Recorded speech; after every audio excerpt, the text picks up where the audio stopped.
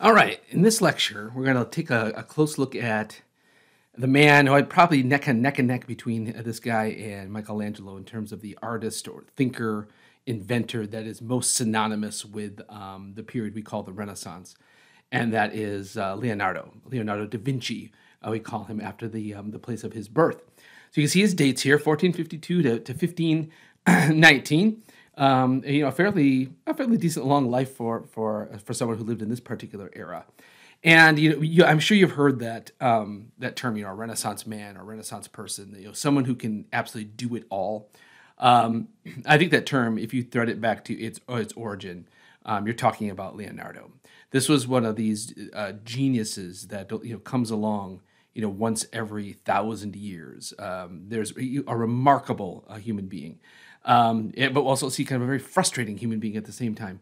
Um, but he was one of these guys that could absolutely do it all at the highest level painter, sculptor, architect, engineer, scientist. He had his hands in, in everything, he was interested in everything, um, and he was, he was good at everything. Now, as we'll see, um, one of the results of this is that um, he left a lot of his work unfinished or unmade, planned but never executed. And um, that's when, when I talk about you know the, um, it being frustrating to talk about Leonardo. That's mainly what I, what I mean is that he I mean he left a lot behind and left his his mark on human history, um, but he also left a tremendous amount of, of work uh, unfinished. And we'll see we'll see why and maybe speculate why along the way. So he was born in 1452 uh, near the village of Vinci, which is about 25 miles west of, of Florence. Um, this is Vinci today. Uh, today uh, one of these uh, these picturesque uh, um, Tuscan uh, kind of hill towns.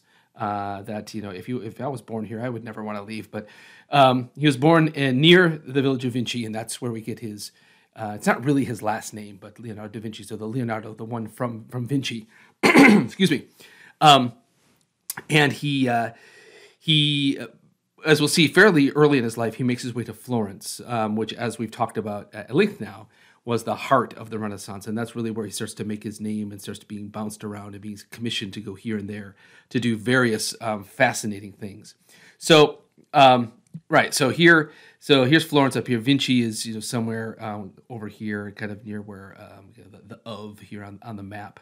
Um, and eventually makes his way to Florence. He, he will see he kind of spends most of his life kind of bouncing back between Florence and Milan. And Florence, he had his own studio, and this is where he did lots of his painting and, and lots of his, his writings and, and um, in, in, inventive thinking. Um, and it's Milan where he's called away for commissions. And so uh, a lot of his life is kind of going back between these two very important, very influential, very wealthy, and powerful cities um, and making a name for himself. Um, uh, I mean, he spends he spends time in in uh, in Rome as well, but he's really kind of mostly associated with the northern part of the boot of uh, of what we think of Italy today. So the story goes um, that he was uh, an illegitimate child. Uh, that his uh, uh, he was the, the offspring of, a, of an affair that his father has, and usually that kind of of background would usually mark you for life um, in this day and age. Uh, to be born out of wedlock, uh, you know, a certainly a, a mark of, of, shame, and you were born with with two strikes against you, and so uh, that makes what uh, what Leonardo accomplished and actually overcame that much more um, uh, incredible. Um, and he seems to. There's not a lot we know about his early life. Um, he seems to have shown uh, promise. Uh, he was a prodigy in terms of, of, of painting and drawing, uh, mathematics, and the like. His father recognizes this. And I think his father, to his credit, rather than disowning the child and, and trying to, to kind of escape from the shame of having an illegitimate, illegitimate child himself, um, he, he, he works in Leonardo's favor, and he uh, takes him to Florence, where he's apprenticed to the guy you see, this rather severe man over here in the painting, um, by the name of Verrocchio. And Verrocchio takes Leonardo under his wing, and um, it's under Verrocchio's tutelage that he learns all kinds of different things. And so Verrocchio seems to be the, you know, the perfect tutor for uh, for Leonardo. He wasn't just going to learn to be an apprentice in a, you know in a sculpting shop or, or in a an art a painting studio. Um, he learned sculpting, painting, goldsmithing, um, study of motion and the human figure. He had kind of a full, uh, what we might call kind of a humanist liberal arts education um, under the watchful eye of, of, Verrocchio, and it seems to have served him uh, very well. Um, and so in about 1478, when he would have been about 26, 27 years old, Leonardo sets up his own studio in Florence. And he starts to paint there. Um, what's what, what's kind of striking about Leonardo's uh, paintings? Not not many of his paintings survive, and um, he didn't ha- he didn't have a tremendous output as a painter. You know, although we we associate with two of the most famous paintings um, that the Western world has produced, uh, the Mona Lisa and the Last Supper, are both uh, from the paintbrush of, of Leonardo. Uh, but all told, very few of his paintings actually survive. I think it's under 20. Um, I, I, might be wrong about that, but it's, it's not much. um, but he left a lot of stuff unfinished. So, for example, take a look at this this painting here, which um, shows the uh, adoration of the Magi, the three wise men coming to um, to worship uh, the the baby Jesus and leave him gifts. Um, he never finished it, but you can already see in the painting kind of his his paintings are very geometric. You can see how even the the you have Mary and the baby Jesus at the center, but it forms this triangle here that catches your attention. And so a lot of his his his paintings reflect his deep interest in mathematics and geometry and balance and, and the harmony uh, from his mathematics, which is a detail that uh, I just admit personally, his paintings kind of leave me a little bit cold. I find his his uh, depiction of the human figure a little bit kind of uh, off-putting to a certain degree. Now, this is purely subjective, and so no inf- no um, offense meant if you are uh, if you find yourself a big fan of these. But um, there are other Renaissance painters like Raphael and Botticelli that I I certainly gravitate towards. But I am absolutely in awe of what this man was able to do accomplish in his career. Now, in 1482, uh, he's called away uh, by commissioned by the Duke of Milan. So, you know, so someone like uh, like Leonardo, like Michelangelo, like Raphael, like Botticelli, how did you make your living? Well, you had to get commissions. Um, you had to convince wealthy people um, that you could do something in their favor. Uh, like so, like the Medici um, hiring Michelangelo to to paint, or, or hiring Botticelli to paint uh, portraits and paintings to, to, decorate the walls of their of their mansions in, in Florence was the way they made uh, lots of money. The, the, the Catholic Church commissioning artists uh, to decorate its churches and the like was how, how you made a living. Um, but uh, Leonardo was commissioned by the Duke of Milan uh, mainly on the strength of his engineering skills. And so he, you know, uh, Leonardo was way ahead of his time. And he designed on paper lots of, of, of kind of military machines, uh, guns, cannons. Over here, you can see this is from one of his notebooks, some kind of complicated catapult or trebuchet here, um, you know, flinging rocks you know, over walls and, and towards the enemies. And um, he's also, while he's in Milan, he's, he, uh, he's continuing to receive religious commissions from the church to paint uh, things, altar pieces. And it's during this time that he gets this, uh, one of his most famous commissions to paint the the Last Supper. What's really kind of interesting and uh, depressing, depending on how you look at it, um, you know, um, he, he designed so many of these these military type machines, but there's no evidence that any of them actually got built. Um, he planned them, he designed them, um, and it, they were never, for whatever reason, handed off, you know, to the uh, to the factory or you know wherever it would have gone next, or or he, he was commissioned to build these things. But he designed a lot of these things, but um, the Duke of Milan actually never um, pulled the trigger, so to speak, pun intended, uh, on these things. And so a lot of his his designs, uh, again, way ahead of their time, and maybe we kind of beyond the capabilities of of uh, people to actually build them. But such was the such was the uh, uh, the extent of of Leonardo's mind uh, back in back in the time. Um, so we'll talk about the, the Last Supper in a moment here. Um, he goes back to Florence, and by this time, you know, people recognize that this is a, this is a great man and lots of of, of young uh, artists and engineers and inventors want to st- study with him, want to kind of become part of his studio, and want to become his apprentice, uh, just like he was with Verrocchio. Uh, actually, not long, not not that long uh, before this, and so back in Florence, he's um, taking on. Um, he's taking on apprentices. He's taking on clients. He's getting all kinds of commissions. It's, it's, it's probably during this this uh, uh, time of his life that he paints the Mona Lisa, which I think you could make a case is arguably the uh, the most famous painting in the world, certainly in the Western world. We'll talk about you know, why that is. Um, uh, but yeah, that he paints it in his studio in Florence. Um, at the right here, you see one of his. It seems to be a finished painting, maybe maybe not so much in the background.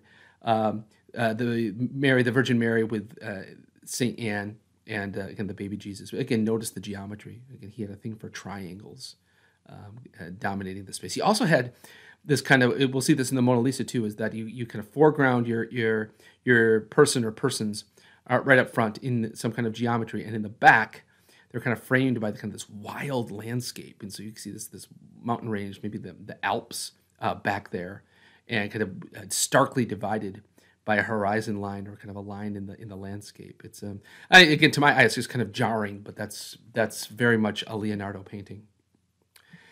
He heads back to Milan. Um, at this point, uh, the French governor has kind of come in and and taken over the the lots of warring between states during this this time. The French invade um, Italy a number of times, and then the the Italians push them back out. again, a good reminder that we're not talking about you know Italy as a, a, nation state. It was, you know, you had the Papal States, you had Florence, you had Milan, you had you know Venice, you had Pisa, all of them with their own governments and their own uh, armies, and so um, lots of kind of you know intra intrastate warfare in Italy, but also uh, dealing with threats fr- from without, uh, most notably the the French at this time, and so the French governor um, running Milan at the time uh, calls up, commissions um, uh, Leonardo once again. And it's it, it's coming to a point in his life where it's almost like they didn't not necessarily kind of want Leonardo to build anything specific, but it was just it was a huge thing to have him there, a huge feather in your cap. You know, so if you had kind of your uh, your in-house artist, your in-house engineer, your in-house scientist was Leonardo da Vinci. Um, well, that was only going to attract more interest, more money, more more wealth, uh, more people. Uh, he was a huge draw. And so it's during this era, this seven eight year period, that he's um, he's very interested in human anatomy. Again, so a, a page here from his uh, from his notebooks. Um, and again, he wrote it's what I, am not exactly sure why, um, but he wrote again in Italian, but he wrote it uh, in mirrored script. He wrote everything backwards. Um, some suggested it was kind of like a, a secret code. Uh, it's, if it's a secret code, it's fairly easily broken. Um, my sense is that he did it just because he could. Uh, it was another challenge for him. And so he interested in human anatomy, uh, bird flight, plant growth, firearms, the movement of water, you know, so uh, physics, mathematics, um, biology, botany.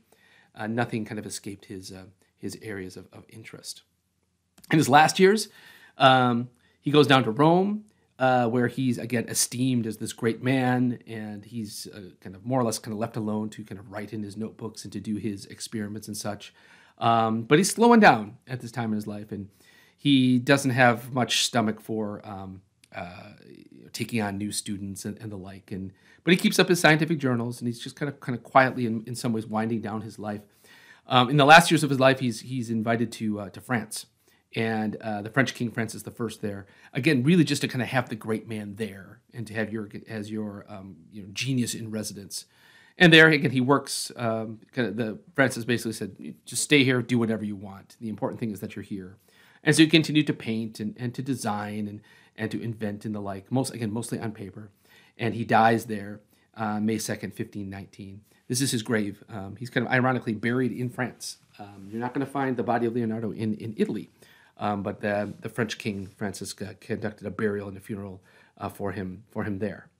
Um, now, just some details about his his life. So again, lots of like I said, these things that he designed and kind of broke down the, the kind of the engineering aspects of on paper, but were never actually built. So he, you know, designing a, a gun that could fire, you know, many rounds at once, uh, a steam powered steam powered cannon. Um, again, he's he's uh, really ahead of his time in terms of um, you know engineer. He seemed to have been very fascinated by firearms. Um, and so lots of his notebooks are dedicated to uh, kind of ideas about how making them um, more deadly in some in some regard. Um, a tank that a, a, kind of a, a, rolling device with guns pointing out in every direction. So here's Leonardo's drawing, and here's a little model which purports to uh, uh, to show how it would work. Um, I think it was a full scale replica has been, been made of it, but it's one of these things that I'm not exactly sure what have what would have powered it, would have moved it around, but it could it could you know it had this hatch by which um, the um, the people you know driving the tank or firing the guns could get in and out. Um, it could spin around and you'll shoot in any direction and the like. Um, but again, this was never built during the day and, and never used as a weapon of, of war. Uh, here's another famous one, again, just a little a modern day model of it, the ornithopter. And so, um, you know, certainly, uh, you know, guys like the Wright brothers, you know, 400 years later, when they're building their flyer, they're really building on the principles that that Leonardo had set out uh, again centuries before that. And so again, uh, never built, I don't believe, uh, but a kind of idea that you know, what's if you can mimic the the flight of birds, um, you can build a you know, it looks like a, a glider. And yeah, like I said, you know, Wright brothers in the, in the early 20th century are are you know, looking at Leonardo, what Leonardo had, had already figured out, and then putting the finishing touches on it. All right, the Mona Lisa. Um, its Italian uh, title is La Gioconda, the, um, the, the the laughing one or the smiling one. And perhaps one of the most famous things about her is kind of she has this enigmatic kind of half smile. And I think that you know this, the question is, um, you know, this is one of the most famous paintings in the world. It's you know it hangs in the Louvre in Paris today, and lots of visitors when they go to the Louvre. Now the Louvre is a massive museum filled with you know antiquities and, and artworks from all over the world. Um, you'd have to take several days to see it all.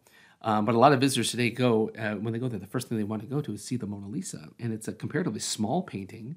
Um, and it's you know it's now behind glass and behind a barrier. It's been stolen at least a couple of times, um, but people go there. And so a good question: Well, why is this painting so famous? Again, to me, to my mind, I don't really know the answer to that. It's it it um, uh, I, I, find um, I don't know just kind of his the expression a little bit. It's mysterious, um, but it's I don't know. There's just something kind of cold and inhuman the, the way that um, that Leonardo paints uh, a lot of his portraits. Well, some of the ideas is yeah, it's enigmatic smile. Uh, there's there's a serenity. There's a mystery to her. You know, what is she? What is she thinking? What's she looking at, and the like. Um, again, note the triangle. Basically, she's framed as a triangle. Note that again that that uh, that kind of that wild landscape in the in the background.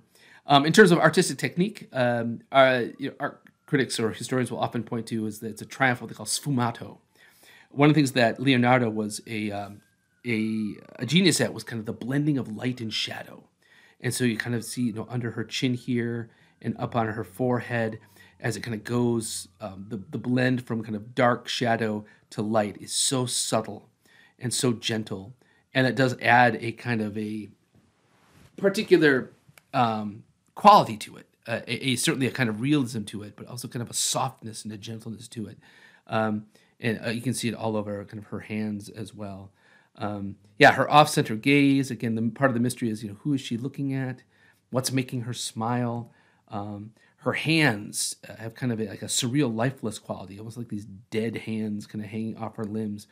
Um, which is again, it's it's a combination of kind of extreme realism in terms of the lighting and the shadow and the shade, but people have commented that the, the, her hands don't really seem to be a believable part of the body of this particular woman, and that's what adds kind of an eerie, odd quality to it. So I don't know, maybe a combination of all those things together uh, led to this mystery that's kind of captivated um, you know, viewers for, for centuries. But uh, again, at the end of the day, I personally I don't quite get it. Yeah, and then you have the same kind of sub- surreal, imbalanced landscape. Well, where is she? You got this lake and these jagged cliffs, and then this looks kind of you know like a, a, desert landscape and some again more kind of jagged mountain areas. It's, it gets that jarring divide between where she's sitting and and what's in, in the background. Again, it's very Leonardo, but um, well, there you have it. And so I'll leave it to your judgment on on, uh, on what you what you make of this. Again, justly very famous painting. All right, The Last Supper. Like I said, probably his other most famous work uh, is the Last Supper uh, in uh, in Italian, L'ultima cena, um, the Last Supper, and it shows. Um, we'll, we'll talk about this. It's a painting with lots of problems, lots of issues. It's been restored and damaged and re-restored over the centuries. In some ways, it's amazing that it, survives at all. Um, but it shows a scene from the life of um, of Jesus.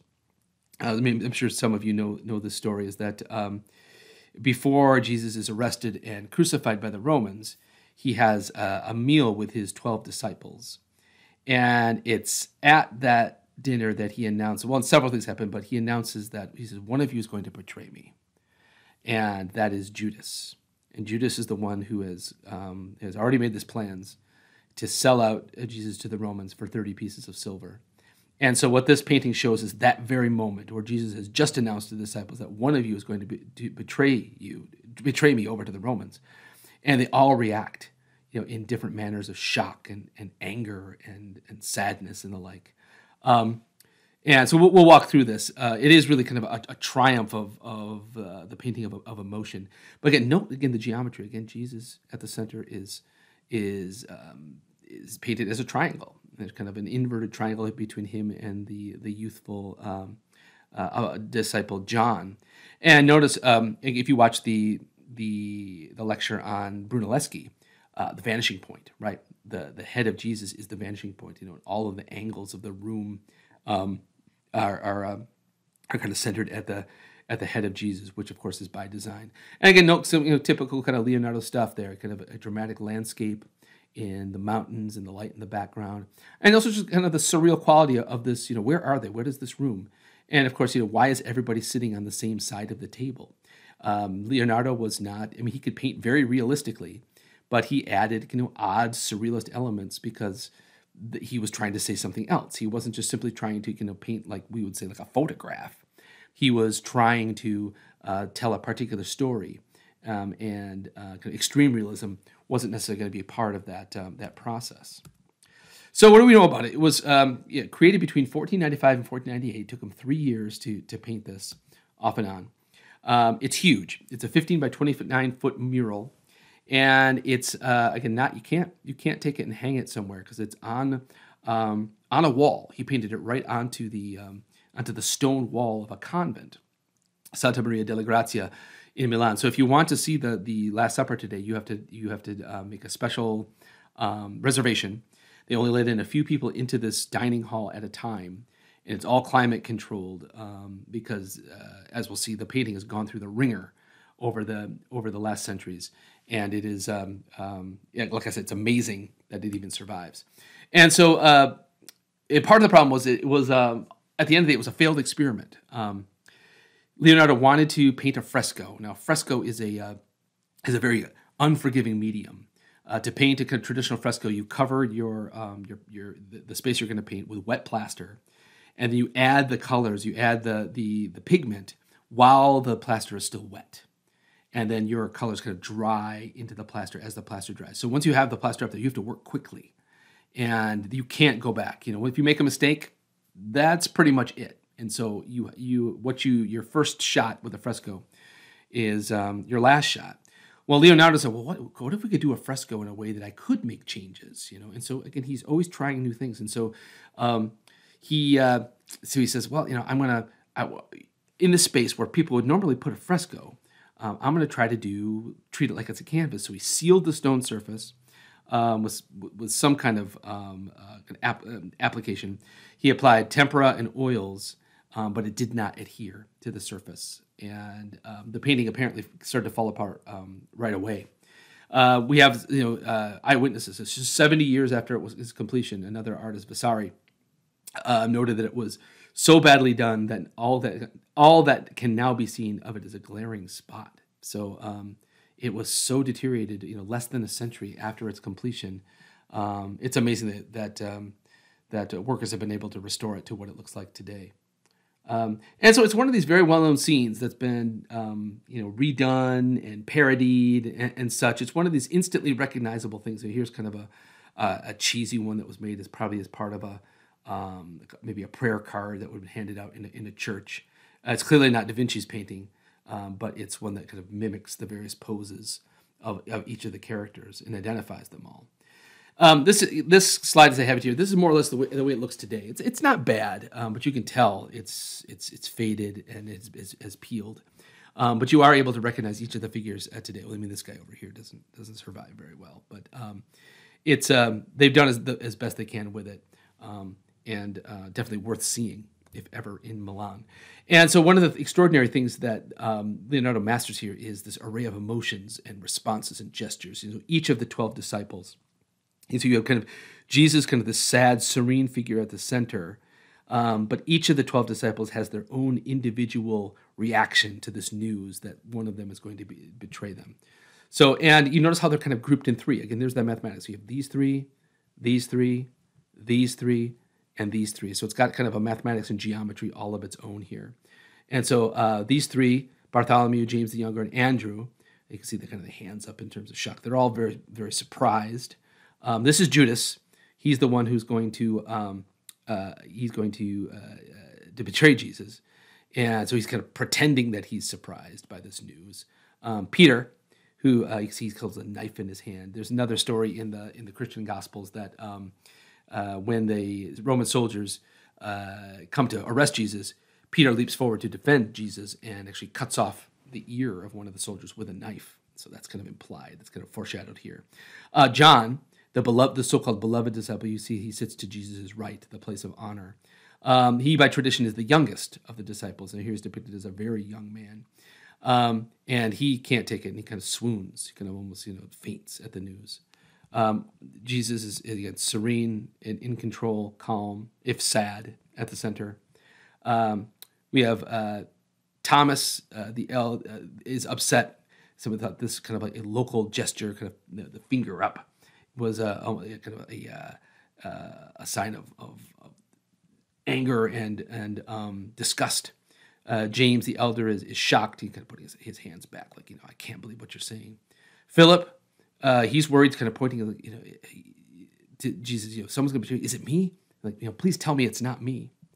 And you have the the last three, Thaddeus and Matthew. Here, uh, they re- they turn to Simon the Zealot, who by tradition was one of the older of the disciples, and they're looking at like, do you know what he's talking about? You know, is there a prophecy about this? So each of them have kind of a unique uh, set of reactions, or at least in a grouping of three. Um, they have kind of a collection of these the wild array of emotions at this shocking news that Jesus has just um, given them. Um, here's a close up. I mean, this is not from Leonardo's painting. This is a, a, a kind of a redo, but adhering to the to the details of of of, um, of Leonardo's painting. Um, one of the ways that that um, Leonardo was innovative was um, this was a, a, very typical kind of scene. Uh, lots of various artists before Leonardo would paint the Last Supper. It was a type scene, and in the vast majority of them, um, the painter would, uh, you know, one put halos on all of the disciples, to, marking them as holy. You know, these are they're human, but they're also kind of blessed by God in a particular way. And the only one, of course, who wouldn't have a halo would be Judas. And usually in the in this painting, they'd also set Judas apart. So the disciples together with their halos, and then Judas is, is clearly on the outs. And what Leonardo does, he goes, he, mean, nobody has a halo, and he includes Judas right uh, amongst the other ones. And so it's it uh, it's a much more kind of realistic a much more kind of humanist portrayal of the disciples, um, and it's less of of kind of an obvious sacred piece, you know, where the the holiness of the figures involved have to be telegraphed with halos and such. Um, Leonardo makes it much more much more kind of down to earth and, and, and human. So uh, Judas is holding the thirty the pieces of silver. He's already been paid off, and he's clutching it tightly. Um, that's what the Romans have paid him to betray Jesus. And notice also he spilled the salt which is a sign of, of bad luck, a betrayal. I'm sure you've heard of that. I mean, that's still that's still kind of a, a piece of kind of folk um, superstition in lots of cultures. If you spill salt, um, you pick up a little bit and you throw it over your right shoulder, uh, not your left. Right is lucky, left is unlucky. Um, so that's good. That's you find that in lots of cultures, and so the fact that Judas has spilled the, the salt is also kind of speaks ill of him um, and speaks to the betrayal that's about to happen. So yeah, so uh, Leonardo bucked convention by using uh, ordinary people as models, um, and so yeah, again, this is not Leonardo's, but well, um, maybe it is. Like, no, this is a no, I think it is. It's it is a kind of a, a detail of his, and so you know the the finger up, the kind of the hands going back in shock, uh, Philip kind of pointing to himself. Um, I mean, it's kind of a cliche. It's kind of a stereotype that um, you know Italians talk with their hands and the like, and you know, very kind of passionate and kind of wear their emotions on their sleeve. And there's some real truth to that. And so maybe we're even seeing a little bit of this of some of the local um, Italian people that uh, Leonardo ran into and used as models for his for his painting. Um, that would make a, a, lot of sense. And it was do, he was doing this in uh, in a way that nobody had really done before. Again, like I said, it makes it very realistic, makes it very human. Um, yeah. So, like I said in, in the last lecture, uh, he was very well known, very well regarded. Lots of people wanted to work with Leonardo. Lots of people wanted to be Leonardo. And um, so in Raphael, Raphael's uh, School of Athens, um, here's a, a, detail, a close up that I didn't show you in the last um, in the last lecture, but um, it's I mean it's not ultimately proven, um, but we think that almost beyond a doubt, uh, Raphael put the face of Leonardo on the figure of Plato, kind of the one of the two great Greek philosophers at the center of that painting school of, of Athens, as a way of again tipping his cap to Leonardo and honoring him um, in a way that's very befitting uh, this Renaissance era that we're talking about. Now, some of you may have heard it. May have heard it. It's, it's a few years um, uh, back now, but there was this very popular book called The Da Vinci Code by Dan Brown, and um, I read it. In my opinion, it was a very great plot, you know, kind of a great story, but uh, a really horribly written book. So I can't say I recommend it. Um, but one of the fascinating things that happened is that this huge conspiracy um, um, kind of came up from this. In this in this uh, book, um, the, the, claim is that um, the church has been suppressing um, the history of what really happened uh, with, with Jesus. And, and long story short, the, there's the secret that you know, Jesus was actually married to Mary Magdalene and they had children, and there's a bloodline of Jesus that's still going on. And one of the characters in the book is actually a descendant of the bloodline of Jesus. And so that goes against the um, you know the more orthodox church view that Jesus was um, was unmarried, did not marry, did not have children, uh, and the like. And so it was a it was a big hoopla back in I want to say 2003, 2004 when this book came out, and then a, a movie followed, um, and the like. Um, and and um, so in, in the story, Dan Brown kind of claims that there's you know lots of these clues in Leonardo's paintings that uh, Leonardo knew the secret that Jesus actually married and had children, and he kind of leaves these clues behind in his in um, in his painting. So if you can like you can read the Da Vinci Code, then you can know the, the truth. And so Dan Brown, I mean, what, what one of the things that, that caused the conspiracy was that um, not only was was a you know, this kind of this fictional plot, but the first page of the novel claims that yes, yes, he says yes, this is a fictional plot, but everything I'm claiming historically is true, and that's what kind of set everybody off, and um, it certainly sold a lot of books for Mr. Brown, and made him a lots of lots of money. Uh, some other paintings of his, um, the Annunciation. This is now in the Uffizi Gallery in Florence. Um, again, the kind of style, the way he paints faces and, and bodies is kind of quintessentially Leonardo. Uh, here's another one, again, unfinished, uh, St. Jerome in the Wilderness. Um, I was talking with my wife about, about this, and she's convinced that Leonardo was had attention deficit disorder, and he just kind of bounced from one thing to the next. You know, not, I mean that's a that's a um, that's a, know, disability isn't the right word, but that's a, a function of, of lots of of um, people who you know who are kind of considered geniuses in, in other qualities, um, an inability to really kind of focus and concentrate because their mind is moving so quickly all the time. Yeah, I, it seems reasonable uh, uh, to me.